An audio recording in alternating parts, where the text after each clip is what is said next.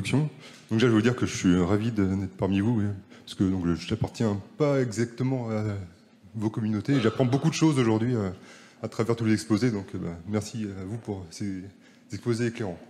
Donc, ce que je vais vous présenter aujourd'hui, c'est le fruit de recherche de, pendant, depuis euh, environ cinq années sur l'impact en termes de vibration sur le creusement de tunneliers en milieu urbain.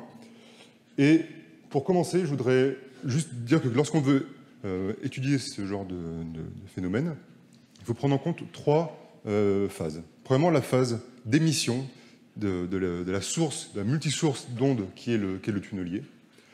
Ensuite, on a la phase de mobilité-transfert, c'est-à-dire la propagation des ondes dans le terrain. Et enfin, ben, on a la phase d'émission, d'interaction avec en particulier les, fondations profondes.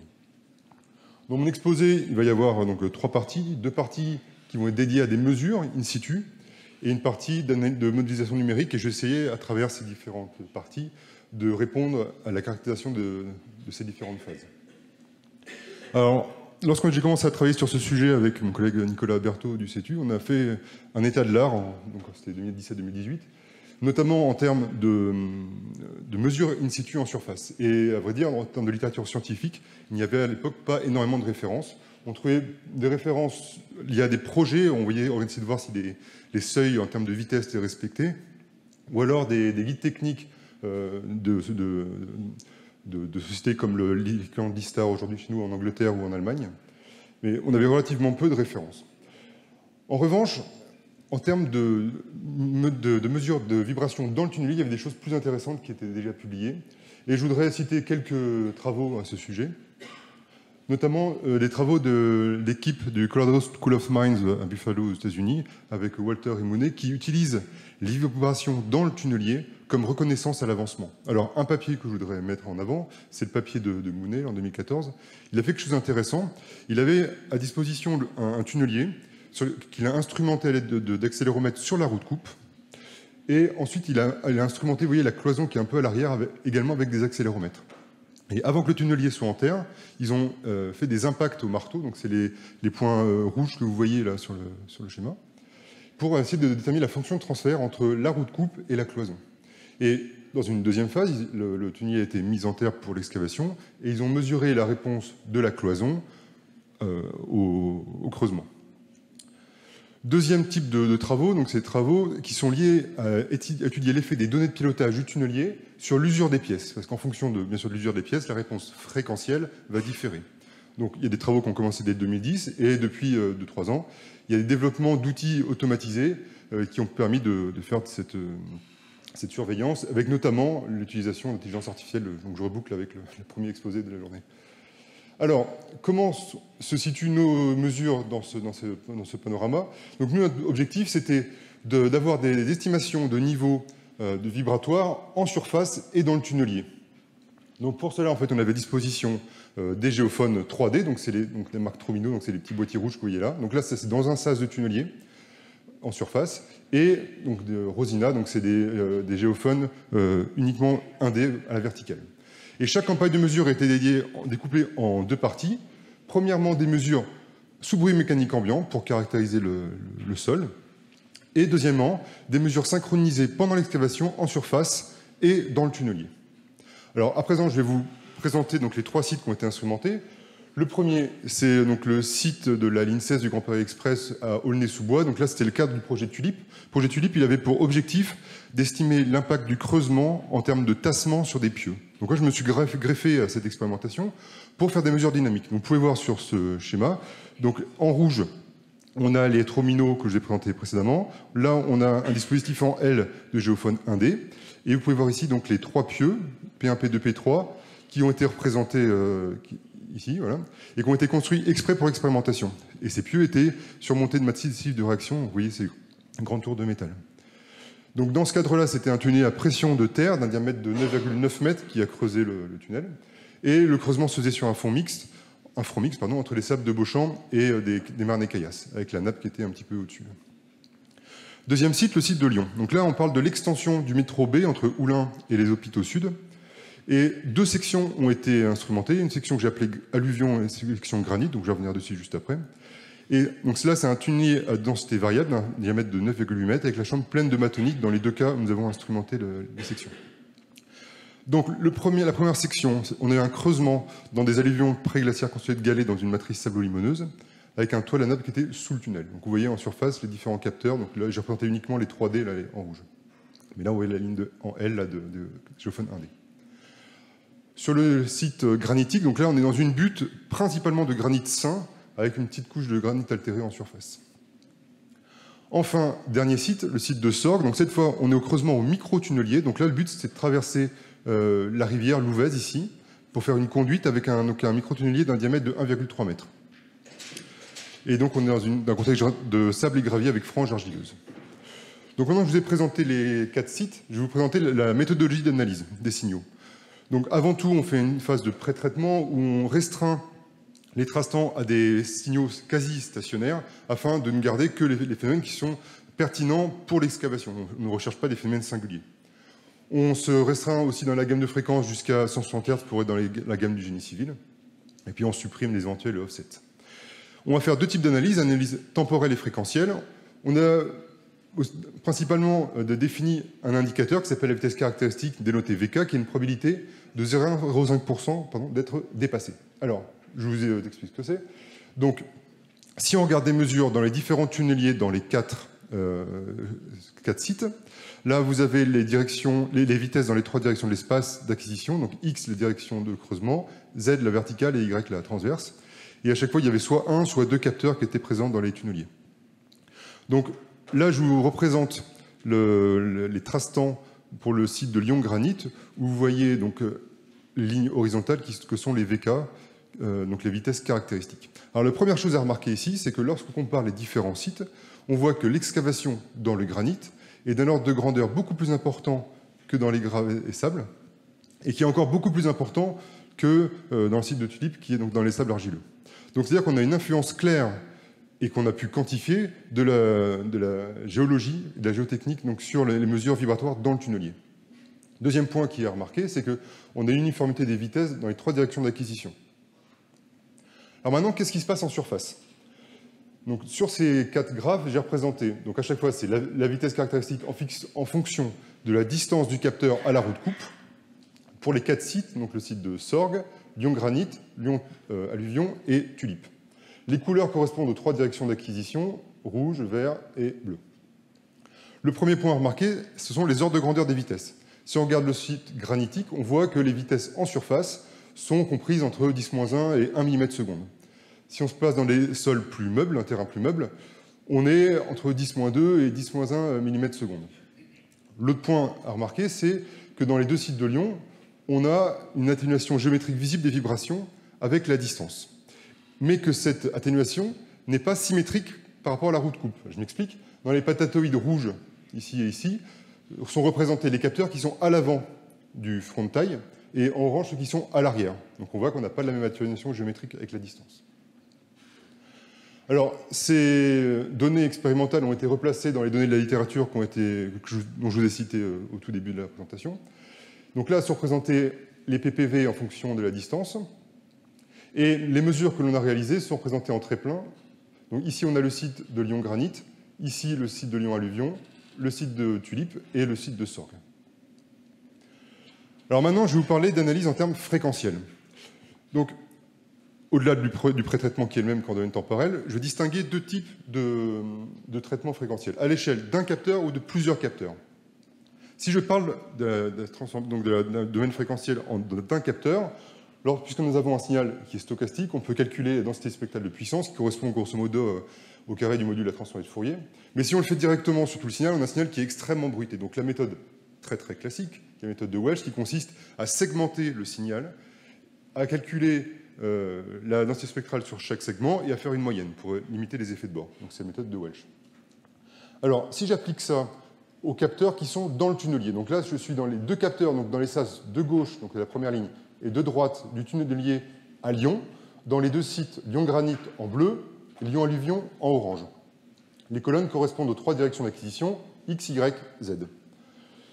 Vous voyez que ce qui est intéressant, c'est comme c'est le même tunnelier, on voit que les réponses sont quasiment parallèles. Ce qui, diffère, c'est le contraste qui est lié à l'intensité des vibrations dans le tunnelier.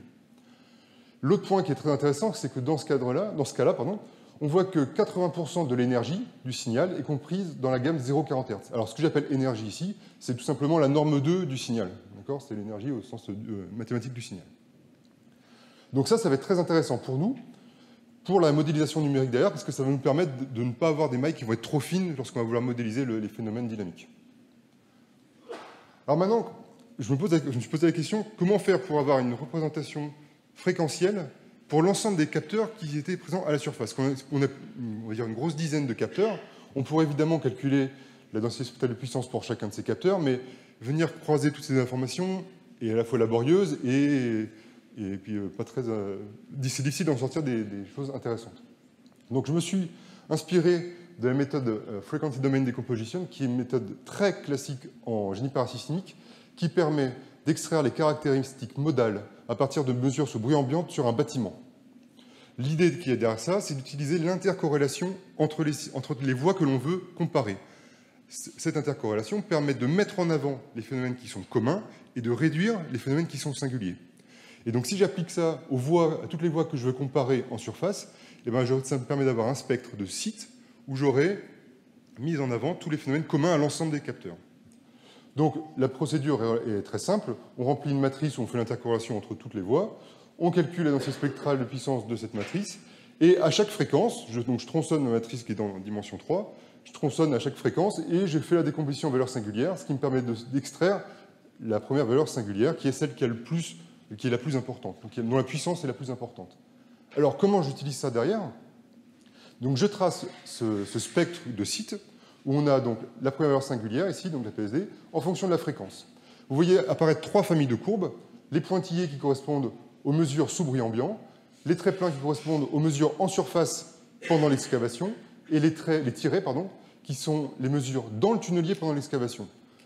Et les couleurs correspondent aux trois directions d'acquisition.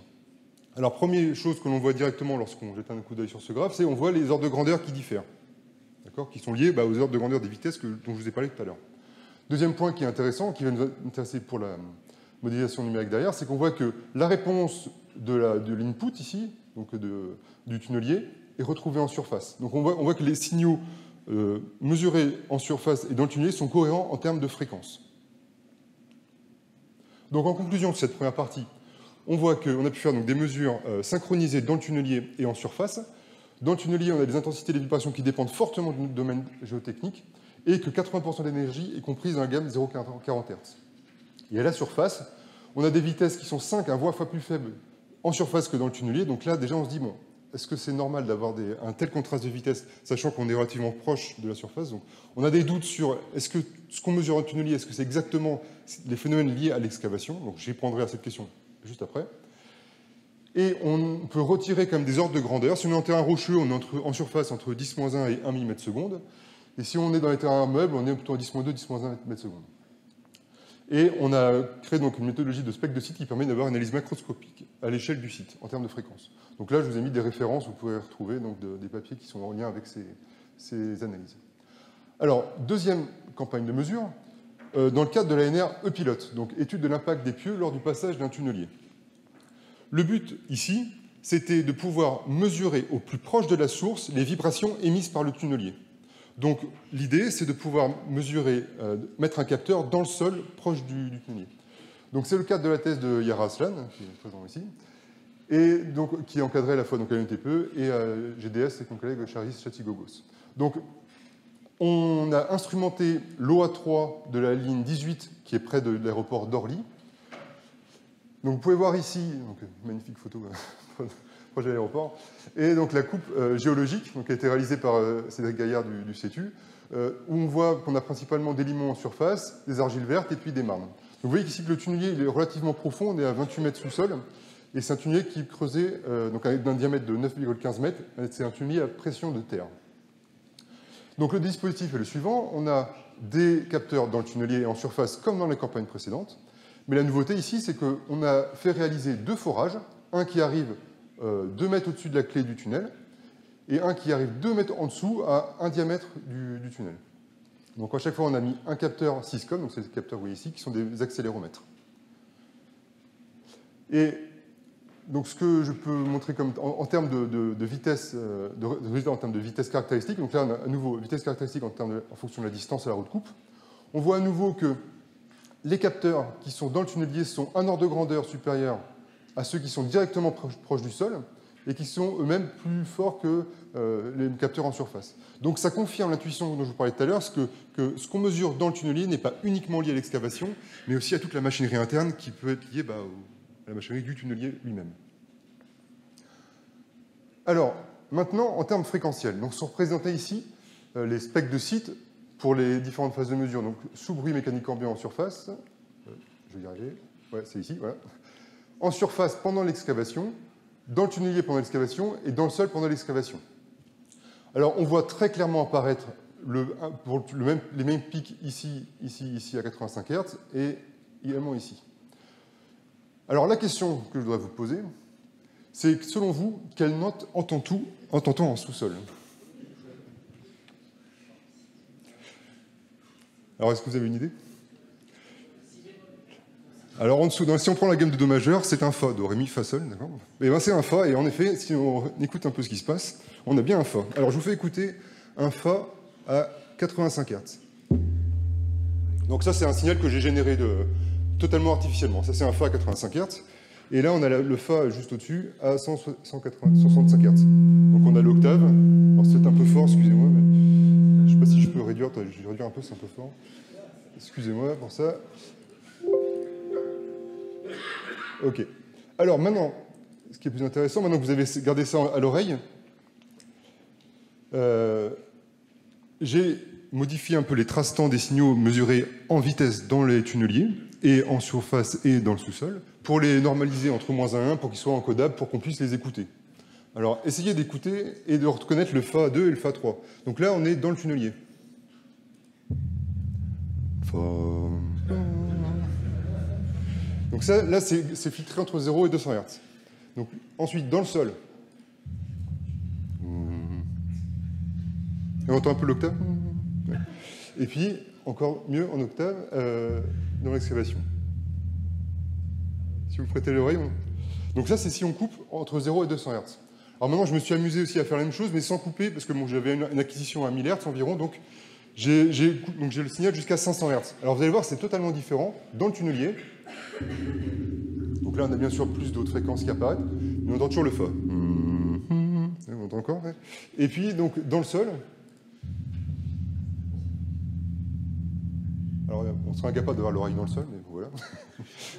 Et en surface. Bon voilà, je vais faire ce petit clin d'œil pour avoir un... C'est la représentation musicale de ce que vous voyez à l'écran.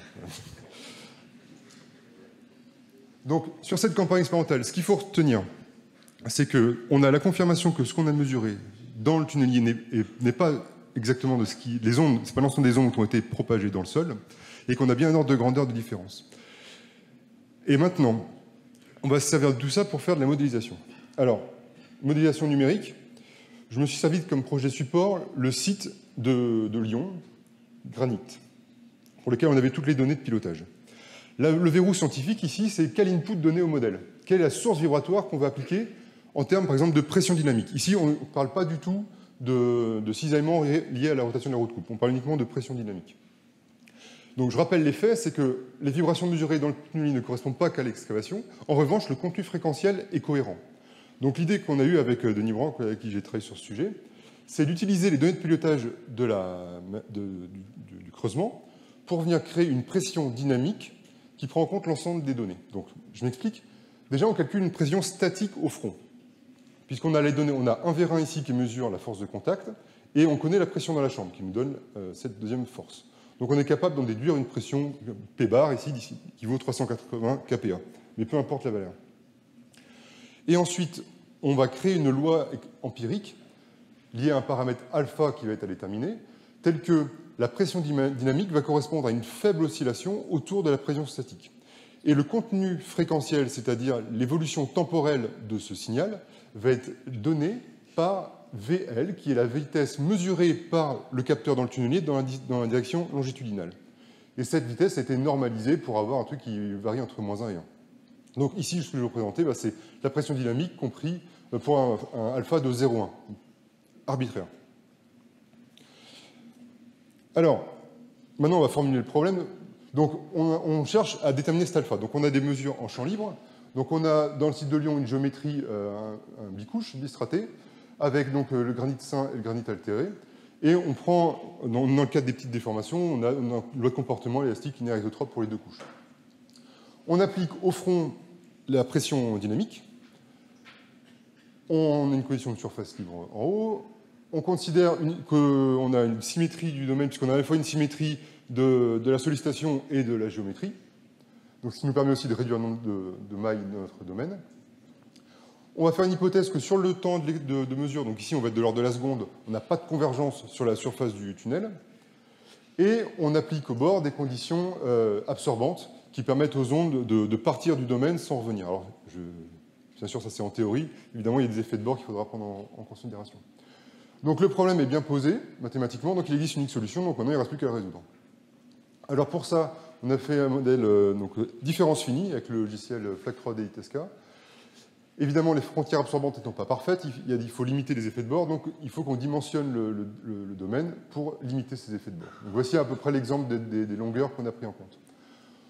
Pour euh, notre problème, on a donc des, mailles qui sont euh, enfin, contraintes à être inférieures à 3 mètres, même au loin. Donc ça fait environ 1,3 million de nœuds, avec un delta de temps de 3,8, 10 5 euh, secondes pour avoir la bonne stabilité du schéma numérique. Alors, ce que je vais vous montrer avant ça, c'est une petite vidéo de... alors, ce que j'ai fait, c'est que j'ai pris le, donc, la résolution tous les 10 3 secondes et j'ai pris 100 pas de temps. Donc ça fait, on, est à 10 2 secondes au final. Donc j'ai ralenti bien sûr la propagation, juste pour que vous voyez comment, on voit la propagation des ondes au front. Alors ce que vous voyez ici, c'est la résultante des vitesses en log. D'accord? C'est la vitesse résultante. Donc vous voyez qu'on voit bien la pression dynamique qui s'applique. Ah, je peux vous le remettre aussi. on voit bien la pression dynamique qui s'applique au fond et qui se propage dans tout le terrain. Bon, c'est illustratif, hein, ça n'a aucune valeur scientifique, hein, que je vous montre là. Alors, donc, pour finir sur ma présentation, donc, premier résultat, en calant les données en surface par rapport aux données issues du modèle euh, numérique, on est capable de, déterminer le paramètre alpha de la loi, loi empirique. Donc ici, on est à 5%, mais bon, c'est uniquement dans ce cas-là. Et ce qu'il faut savoir, c'est que ce alpha il a été calé sur le Vx. D'accord? Donc, en rouge, vous avez la mesure issue du capteur qui est ici nommé T71, et en noir, vous avez le résultat FLAC 3D. Ce qui est joli, vous voyez, c'est qu'en Z, eh ben, ça, colle bien. Par contre, en transverse, on est complètement dans les choux, mais c'est normal parce qu'on n'a pas pris en compte le cisaillement. Donc c'est normal qu'on... Dernier point que je voulais mettre en avant, c'est maintenant, on, se pose la question, mais quelle est la vitesse qui est réellement euh, calculée au front? Parce que c'était ça la question qu'on se posait au départ. Quel est, l'input du modèle Donc quelle est la vitesse au front? Donc sur ce graphique sont représentés en olive la, vitesse longitudinale du capteur qui était dans le tunnelier, et en noir, c'est la vitesse mesurée par le, modèle numérique. Donc vous voyez qu'on a un coef 3 euh, à peu près de, différence. Donc pour conclure, euh, pour cette partie donc modélisation numérique, donc on a, formulé une loi empirique à l'aide d'un paramètre.